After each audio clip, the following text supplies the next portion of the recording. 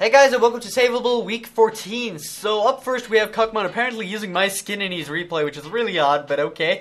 And then we have like a nice decap kind of attempt here, goes through, cuts straight through his neck, pretty sexy. Meh has like a nice close save, going straight on the edge of the ring here, just balancing with his feet there. Pretty cool, gets a point win as well, that's pretty unique. Acid Punch, just dropping Uke on the floor. And the, what's the got? He's got, he's got something too, dropping Uke out of the ring. Okay. Epic up next, dropping Uke's feet out of the ring, getting the win, and Takwar getting a nice, nice kick here. Decap spinning Uke's head off, pretty sexy looking as well. Budsy not even touching the ground, gets a decap with the same arm. It's just insane. I don't know how you did that. Holy shit.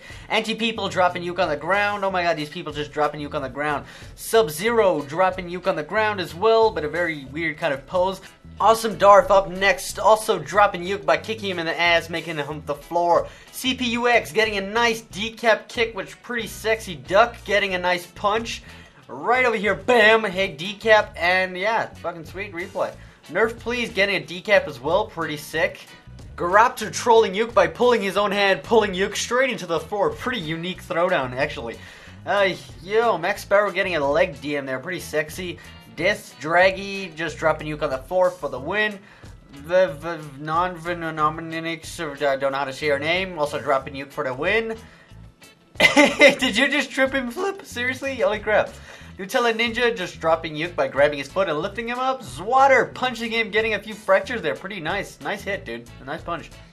This guy is oh like he balances on his own hand to like avoid going out the ring. That was insane. Trick XD up next as well, taking arm off. You know, arm for an arm makes the whole world fabulous. I don't know. Drea just double timing him like shit, punch and kick. Uh, schizophrenic dropping him. Uh, Mizwal doing a drop as well what you got for us, Flunch? Um, drop as well. Okay, so the notable replays are by Triogis for the decap, and then kick, split, and instant DQ. Fucking awesome. Nice replay. I love this one as well. I'm not to say your name because I have no idea how and uh, he like lands on his foot there and gets a decap. It's, pretty, it's just pretty sexy. I like the idea of putting your hand, uh, foot on your hand. It's pretty fucking unique.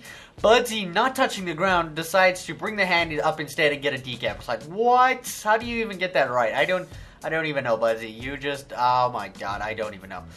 So for this week's Savable Challenge, you will be downloading the replay in the link in the description and be editing the replay from 270. That's frame 270.